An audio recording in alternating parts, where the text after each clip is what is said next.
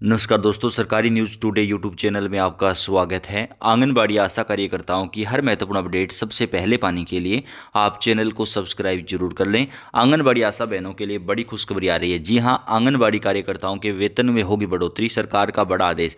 प्रदेश के आंगनबाड़ी कार्यकर्ताओं और सहायिकाओं के लिए अच्छी खबर, उनका मानदेय एक बार फिर बढ़ने जा रहा है। मुख्यमंत्री ने पोषण अभियान के तहत मंगलवार को आयोजित कार्यक्रम में यह ऐलान किया। मुख्यमंत्री ने कहा कि एक महीने पहले मैंने कहा था कि आंगनबाड़ी कार्यकर्ताओं के बकाया का भुगतान किया जाएगा। विभाग ने जो कार्रवाई की उसे लोगों ने बड़ा व मानदेय समझा। ये तो पिछले वाला बकाया था।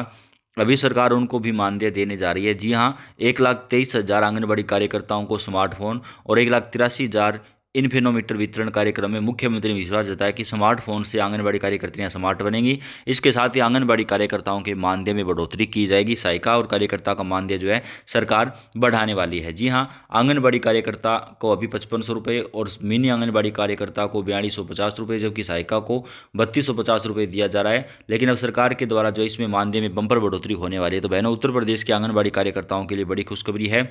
योगी आदित्यनाथ ने कहा कि उनका मानदेय बेहद जल्द बढ़ने वाला है। पहले जो बढ़ाया गया था, वो उनका बकाया था, लेकिन अब सरकार मानदेय बढ़ाने जा रही है तो वीडियो को लाइक और शेयर कर दें।